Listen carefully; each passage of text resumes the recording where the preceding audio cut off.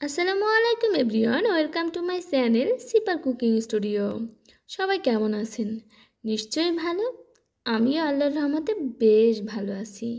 দেখেই বুঝতে পারছেন আজকে আমি কোন রিলেটেড ভিডিও নিয়ে এসেছি। আজকে আমি আপনাদের সাথে শেয়ার করব, আমি কীভাবে ফ্রেশ স্ট্রবেরি থেকে বাসায় দুই রকমের জুস বানাই। তাহলে চলুন দেখে নেবেন কত অল্প উপকরণে খুব সহজেই বাসায় বানানো যায় fresh strawberry juice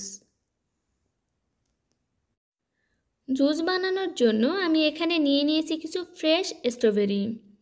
strawberry juice বানাতে গেলে অনেক বেশি স্ট্রবেরির দরকার হয় না, অল্প পরিমাণে হলেই হয়ে যায়।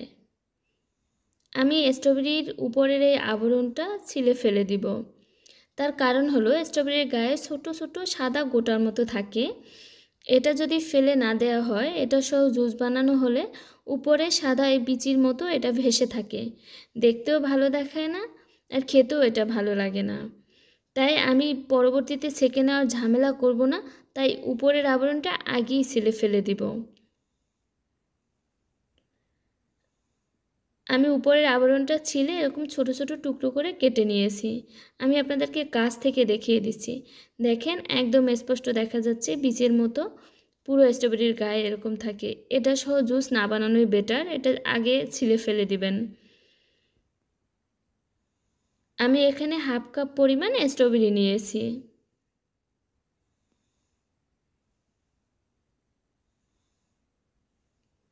আমি প্রথমে আপনাদেরকে জুস বানিয়ে দেখাবো স্ট্রবেরি দিয়ে, টক দই দিয়ে। তো এক্ষেত্রে আপনারা যদি বাসার টক দই ব্যবহার করেন, সেক্ষেত্রে টক দই অবশ্যই ফেটে নেবেন, যাতে ভিতরে কোনো লামস না থাকে। আমি নিয়েছি হাফ কাপ স্ট্রবেরি।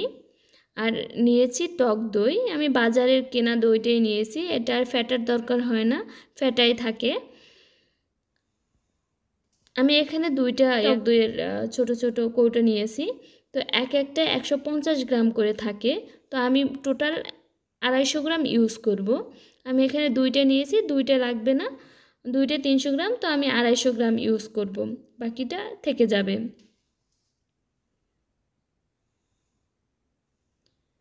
আর নিয়েছি আমি চিনি। আমি এখানে এক টেবিল চামচ চিনি নিয়েছি। আপনারা যদি মিষ্টি খেতে বেশি পছন্দ করেন, তাহলে এক টেবিল চামচের পরিবর্তে দুই টেবিল চামচ চিনি নিয়ে নিতে পারেন।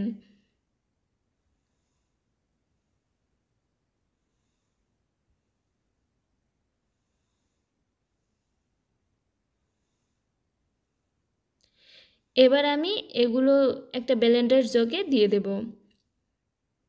একটা ব্লেন্ডার জগ নিয়ে নিলাম।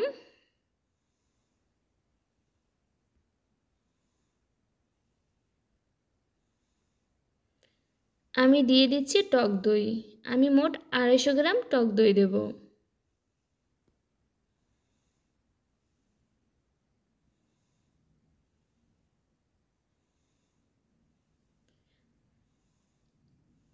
দেখেন আমি টক দইটা নিয়ে নিলাম।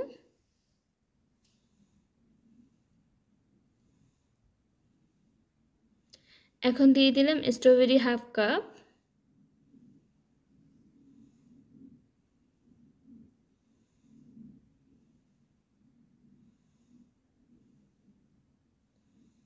এবং এক টেবিল চামচ চিনি।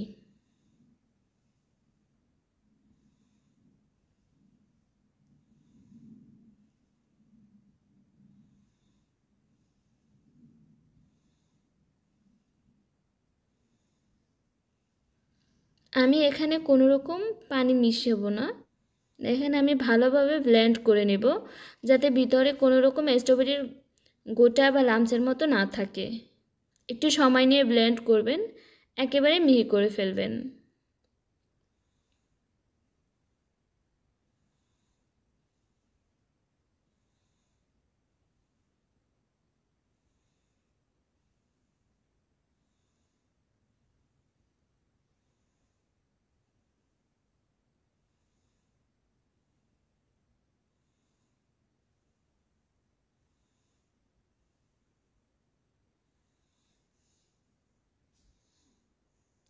খুব ভালোভাবে ব্লেন্ড করা হয়ে গেছে। এবার আমি জাগটা খুলে নিলাম। পরিবেশনের জন্য আমি নিয়ে নিলাম দুটা গ্লাস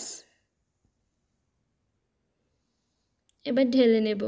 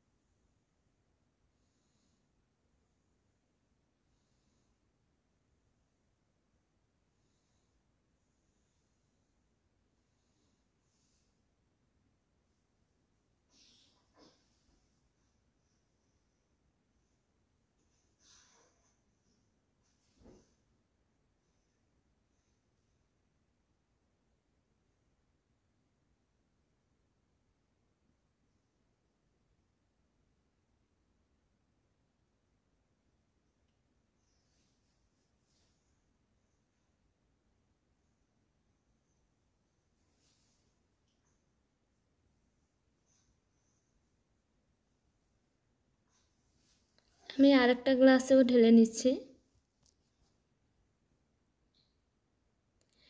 আমি যেহেতু কোনো রকম পানি ব্যবহার করিনি বা আইসও ভিতরে দেইনি, তাই জুসটা একটু ঘন হয়েছে, পাতলা হয়নি। গ্লাসে ঢেলে নিয়েছি, এবার আমি দিয়ে দেবো কিছু বরফ টুকরো।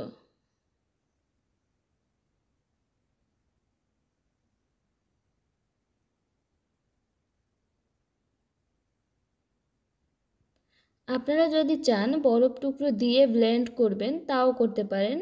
ওই ক্ষেত্রে জুসটা একটু পাতলা হয়। দেখেন কত সহজে। মাত্র দুই থেকে তিনটে উপকরণে কি সুন্দর জুস বানানো যায়। জুস বানানো যায়। তাহলে কেন আমরা বাইরে থেকে কিনে খাব বলেন?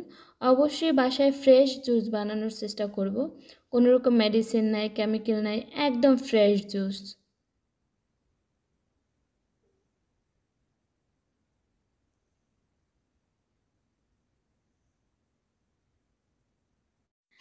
আমি একটা জুস বানিয়ে নিয়েছি, টক দই দিয়ে।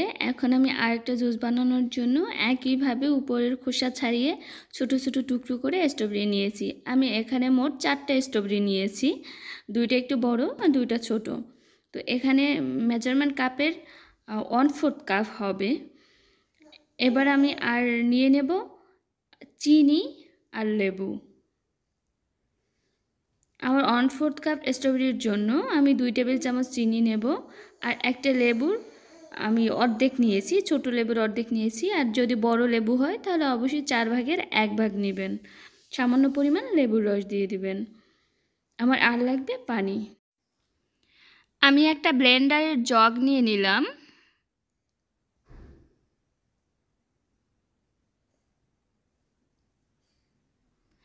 স্ট্রবেরি দিয়ে দিলাম।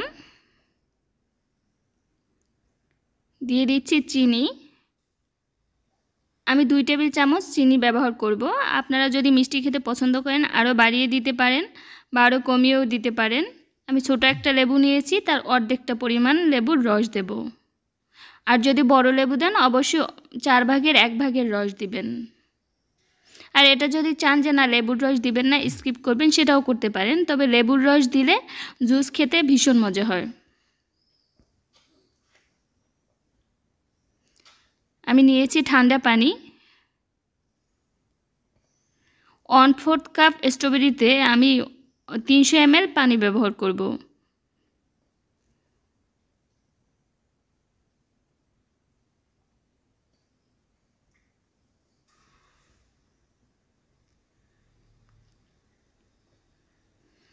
দেখেন, এখানে আমি শুধু স্ট্রবেরি, ঠান্ডা পানি, চিনি এবং লেবুর রস দিয়েছি। তিনশো এম ঠান্ডা পানি দিলাম। এখন আমি এটাকে ব্লেন্ড করে নেব। ভালোভাবে ব্লেন্ড করতে হবে, যাতে ভিতরে স্ট্রবেরি কোনোরকম টুকরো না থেকে যায়। একেবারে মিহি করে ব্লেন্ড করতে হবে।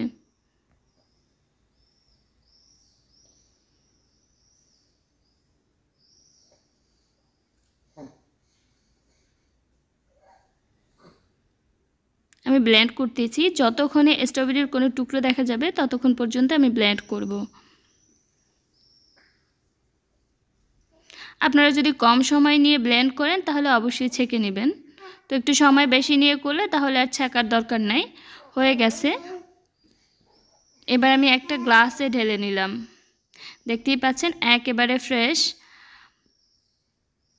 আশা করি রেসিপি সবার ভালো লাগবে। অবশ্যই বাসায় স্ট্রবেরি জুস বানাবেন।